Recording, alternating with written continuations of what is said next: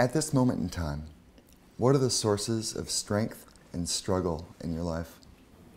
My sources of strength right now are definitely feeling like I'm absolutely on my path capturing my flag. I really feel so happy to be married and having moved into a, a role of motherhood uh, with, with our son. It's just incredible source of strength to feel like I'm my life is progressing the way that I would write it if I had a pen in my hand. It's it's just a it's been a, an amazing journey and I'm really grateful for where I am right now. And I think the the only source of struggle is really a lot has happened very quickly in mm. my life.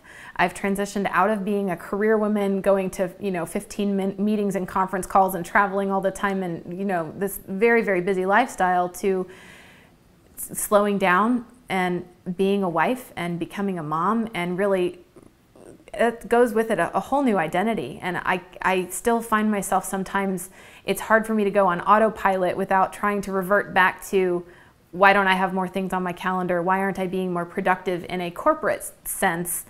And I haven't yet completely gotten used to what it's like to be a wife and a mom. And I don't think that there's anything wrong with that. It just takes some time.